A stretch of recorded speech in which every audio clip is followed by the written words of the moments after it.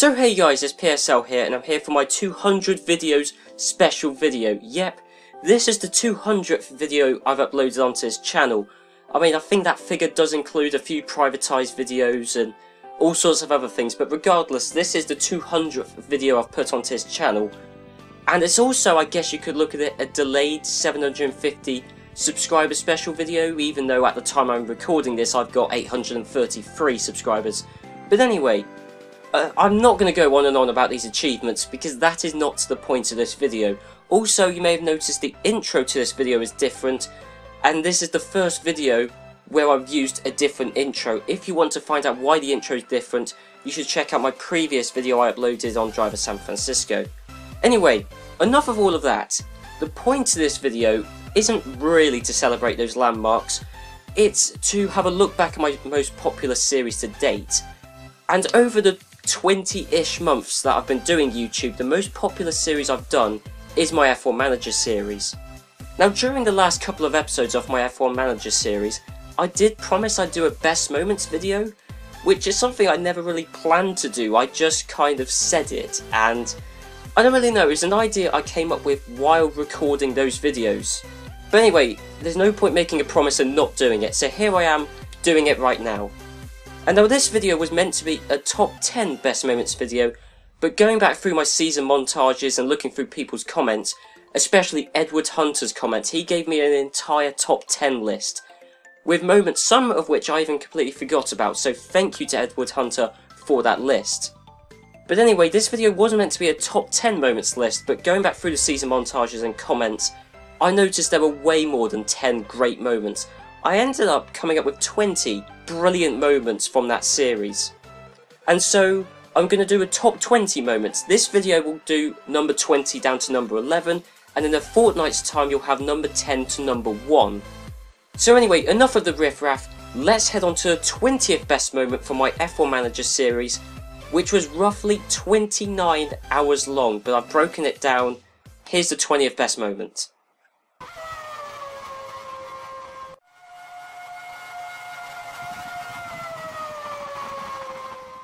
Now this moment is pretty tame compared to some of the other crazy things that happened during this series.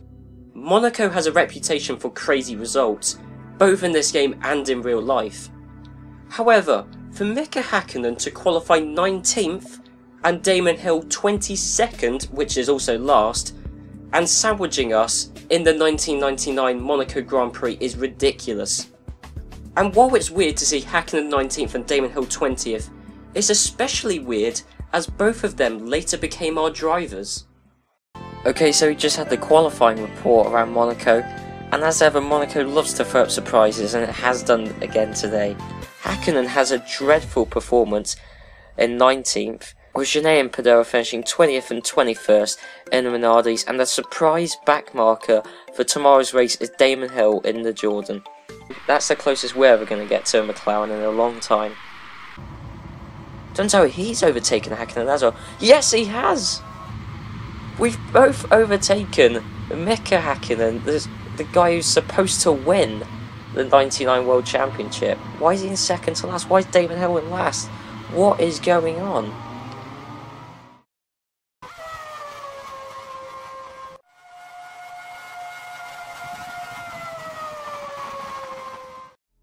Now there are some weird pictures in this game Johnny Herbert's has to be the standout one in my book. Just, I know Johnny Herbert's a slightly out there guy, but that picture, wow, what a picture.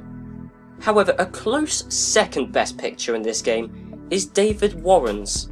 After his in-game picture rather distracted me when it showed up before the 1999 British Grand Prix. But we got BAR confirms David Warren as their commercial manager, which, God, look at that guy in the background. That is a photo bomb if ever I've seen one. They've tried to blur him out, but you can clearly see him there. Just, that is that is a nice photo bomb. I love it. There we get David Warren. That's the guy we're focusing on.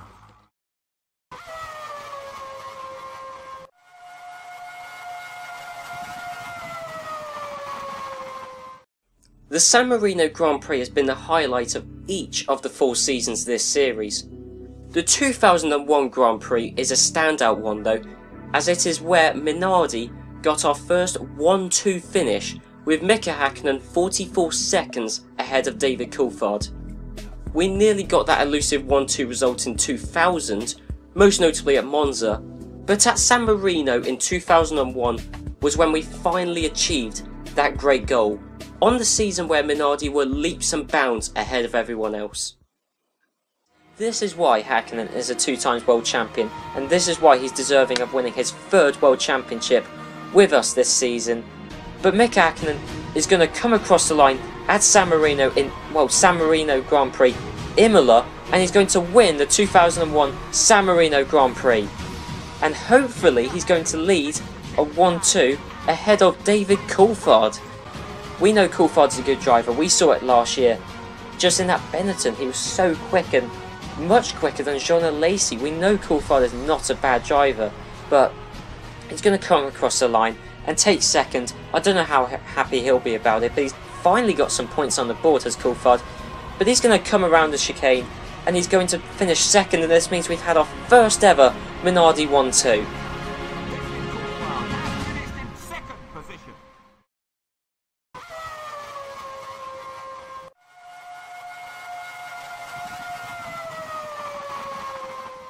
The Malaysian Grand Prix was another race that produced a lot of action whenever we went there.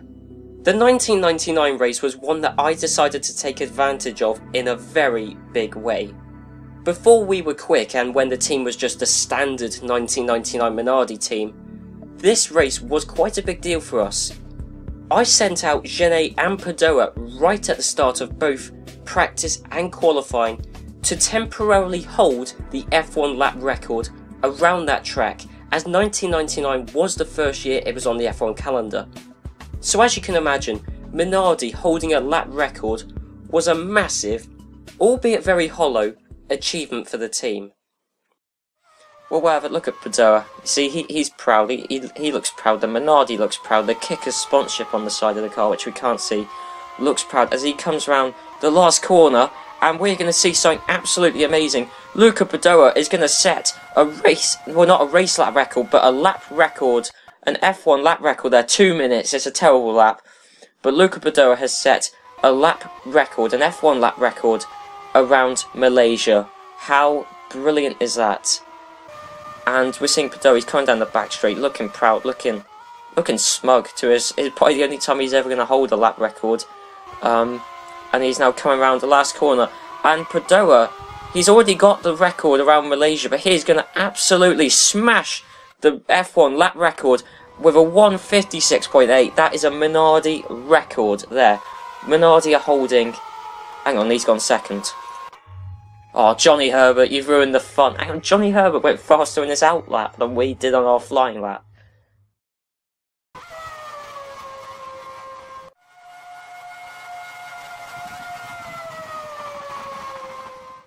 Jarno Trulli, the driver known for being uber quick in qualifying but having little pace in a race. The 2001 Monaco Grand Prix this series completely disproved that. So much so that I tried to sign Trulli myself before he went to Williams instead and I had to get Mika Salo in as a last minute replacement. Anyway, what a performance the 2001 Monaco Grand Prix was for him. Coulthard is a good driver and even last year um, which I didn't watch. Coulthard won it. Um, and that's shown how good of a driver Coulthard is. He's got past Trulli, although, ooh, there is a massive scrap going on between Trulli and Coulthard here. How Trulli's doing this in the, in the Jordan, which is so much worse than the Minardi. Sure, the Jordan has got the second best chassis on the grid, but it's got worse brakes, worse electronics, worse engine. But yeah, Villeneuve's have a suspension failure, and Trulli's got past Coulthard. We gotta tell, right, we gotta tell Coulthard to risk everything. And he's gonna take second place. Thoroughly deserved, because he's absolutely made Coulthard look like a mug, that race. It's just such a shame that the rest of the season went very poorly for him. Trulli out of a driver error, good thing I didn't sign him, jeez, Trulli's doing poorly. Trulli's out of a driver error, good thing I didn't get him as my driver. So maybe Jarno Trulli is just the unsung king of Monaco. I mean, it is entirely possible for a driver with his traits.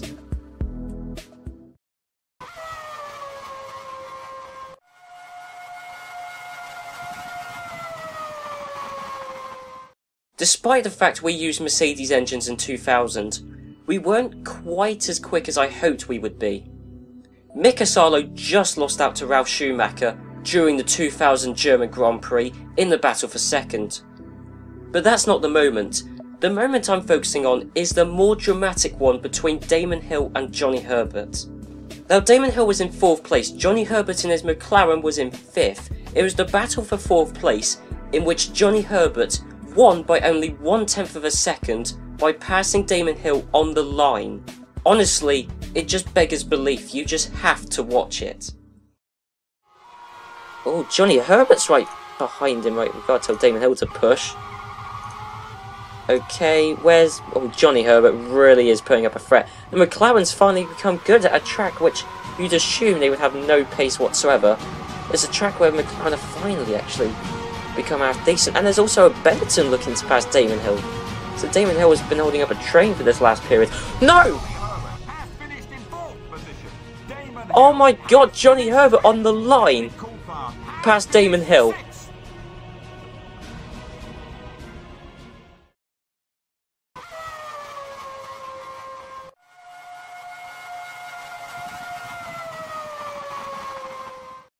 Benetton Sports System is a very strange company. They sponsored Benetton during 1999, but then Williams from the 1999 German Grand Prix onwards. Then they announced pre-season to the 2000 season that they would sponsor Prost, which is a very strange move. And that lasted up until the Italian Grand Prix, from which point onwards they sponsored Sauber. And finally, from the 2001 Brazilian Grand Prix onwards, they sponsored BAR. I mean, surely I don't need to explain how stupid that is. For Benetton themselves to not even want to sponsor their own Formula 1 team, it's, it's just so illogical that I love it. The fact it's so absurd is why I really do like this game, because the thought of something like this happening in real life is one of the strangest business and marketing decisions I've ever heard of.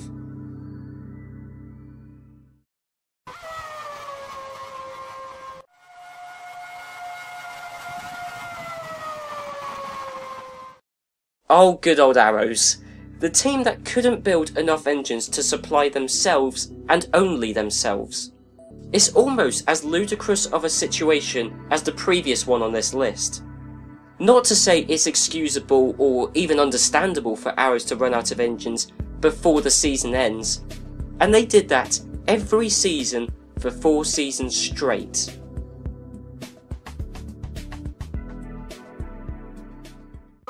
And De La Rosa. Oh, is this an engine failure for De La Rosa? Oh, this would be tragic if both arrows um, have engine failures. Oh no, De La Rosa's out. And that means that is officially the end of Arrow's season. They are done.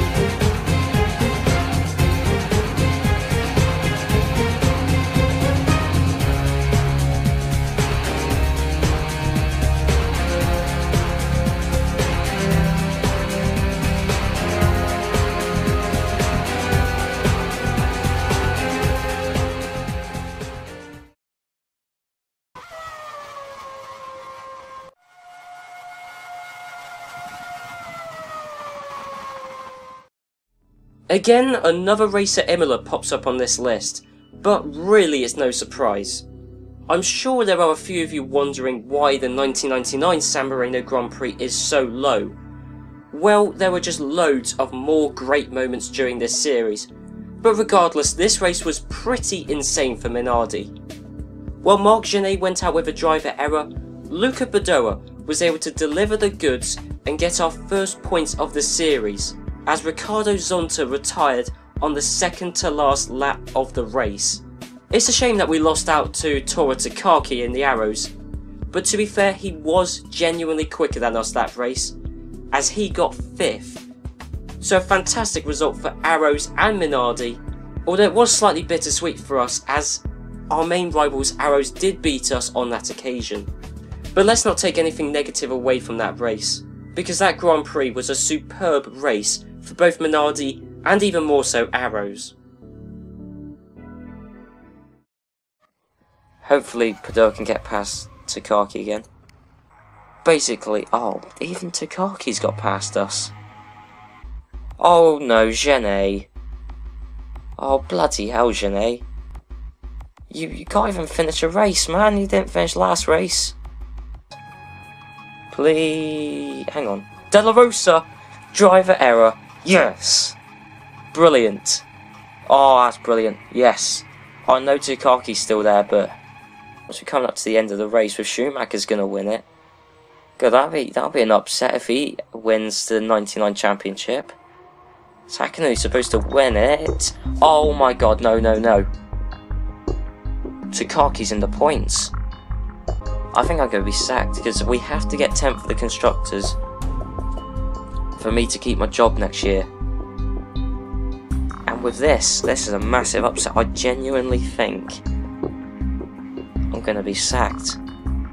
Of all people, I thought if an hour is as good as score points, it'd be De La Rosa.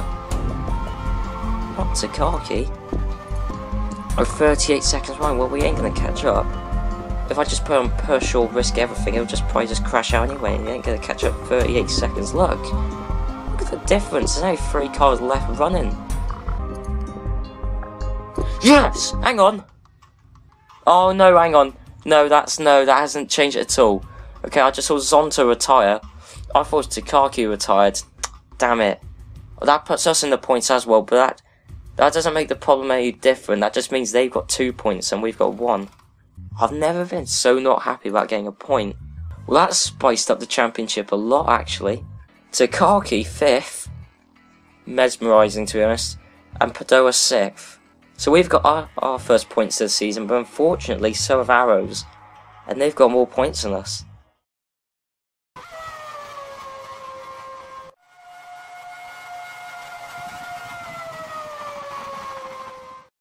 Again, another entry that has something to do with arrows, but really, they are a very strange team in this game, and I swear they exist for the sole purpose of entertainment. I mean, this is proved by their miraculous pace at Monaco every single year, regardless of which drivers they had or how quick they genuinely were. I mean, I even suspect that they cheated by doing a qualifying lap on an in lap, a cheat that I then copied and exploited from 2001 onwards. Apparently after those two points Arrows got in Imola, they've just been able to improve so much on the opposition that Pedro de la Rosa's somehow been able to get third. Takagi's in 8th for the Arrows, again setting a blistering time, not as quick as his teammate, but still way above expectations, and the man who nobody thought was going to score points in Imola might score points again this race. I mean, look, 53, 37, 22 is third laps. Like, I mean, what are they? Is out? What are they? Is in laps? Have they found a cheat? I think Arrows have found a cheat. Look at lap seven. Now, here's the thing. Lap seven is a risk everything lap, but it's his in lap. It's when he comes into the pits. That can't be a lap time. That can't be a valid lap time. And I think I speculated last year, but I think I kind of said it in a jokey way that, um, oh, I think Arrows found a cheat because, you know, they were quicker on their in laps. But genuinely, I think it's true. Look, Jean Alesi in the Arrows is in fourth place. Now, Arrows historically have been fantastic at this track, and with Jean Alesi being a fantastic driver, he's been able to drag the Arrows to 4th place. That's phenomenal. It's just great. And I don't know I don't know who's ahead of both Benettons. I think it's Mark Gené, but he's absolutely shot away from both Benettons. Gené has pulled away 8 seconds from both Benettons in a lap around Monaco. And into the race, I'm heading up towards Loews hairpin on lap 1 and Michael Schumacher pulled out a massive gap. But Gené was still holding his own even though nowhere near Michael Schumacher. He was holding his own but did have some pressure from Ralf Schumacher in third. Anyway guys, I hope you enjoyed this video. Be sure to leave a like, a comment. Try and have a guess which 10 moments are in the next episode. But you don't have to guess all 10, but you can try and guess some moments that you reckon are in the top 10 list. And that video will be coming out in a fortnight's time. I'm really sorry I had to break this video into two parts, but I do suspect this video alone will be quite long. And once you factor in all the work I've got at college at the moment, it's just easier for me to split this into two videos. Anyway, I hope you agree that these moments were fantastic. And once you see the top 10 list, oh my word, if you haven't watched this series, or if you didn't watch all of the series, some of the top 10 moments may completely stun you. And probably some of these 10 stunned you as well. So honestly, you just got to watch the top 10 because because some of the craziest things happen in this series and this video alone just hasn't quite done it justice. So I'll see you in two weeks time for the second part to look back at the F1 Manager series I did. So I'll see you then.